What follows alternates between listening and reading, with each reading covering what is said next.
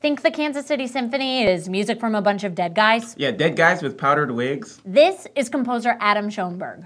Dude's definitely not dead. Nope, not dead. He's our age. He's composed this cool new music that hasn't been recorded before anywhere. This will be the first time, and it's happening here in KC. And you can hear it for only $15. Oh, just 15. Yeah. Hey, you know what concerto Adam needs to write next? Uh, air guitar.